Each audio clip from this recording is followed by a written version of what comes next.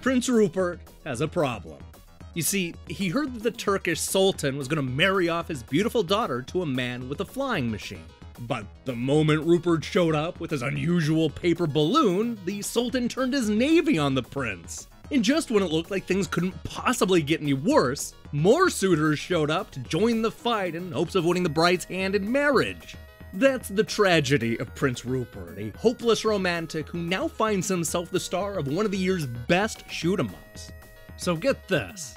Tragedy of Prince Rupert is an arcade style action game straight out of the 1980s that is heavily inspired by the 1958 Karel Zeman film The Fabulous World of Jules Verne, which in turn was largely based off the 1896 book Facing the Flag. You take control of Rupert's balloon and dodge bullets while shooting down the other suitors. The problem is, you only have one life and not much health, so it quickly becomes all about staying alive for as long as possible. The story of Prince Rupert is not only tragic, but also full of surprises. At first, it looks like this is just going to be another dual stick shoot 'em up where getting a high score is the only thing that matters.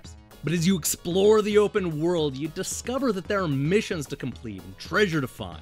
We're given a book that outlines the different quests found all around the Sultan's castle. But the fun comes in trying to figure out how to complete these missions.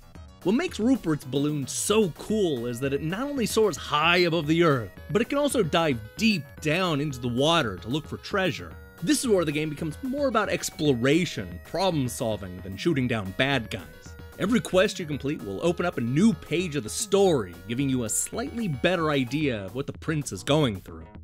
As a shooter, Tragedy of Prince Rupert is fairly simple. You fly around with one analog stick and shoot with the other. To add a little depth, we'll be able to pick up explosive barrels from destroyed ships, giving our lovesick hero an extra attack. You can also get gobbled up by a large fish in order to explore the ocean's depths. There's a little more going on here than you might initially expect. That said, I do wish there were actual power ups and different weapons to choose between.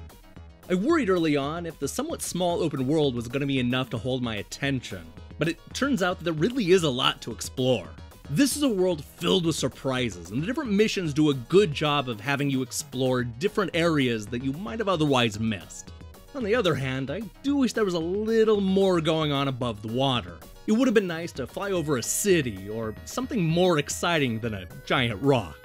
One thing I can't complain about is the visual presentation.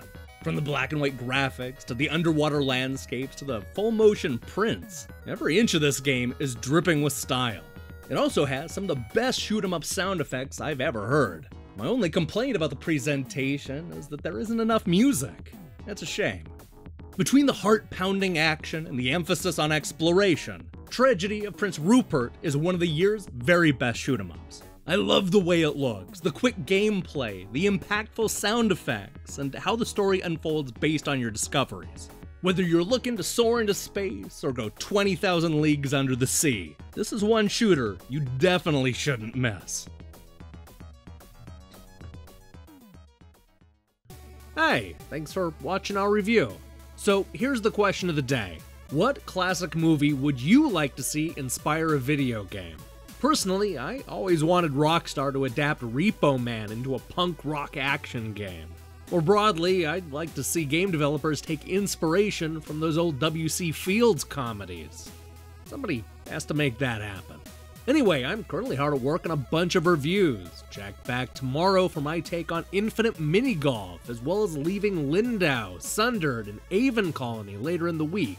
I have a lot to say about all of those games, so I strongly recommend you click that subscribe button and support what we're doing here. Until then,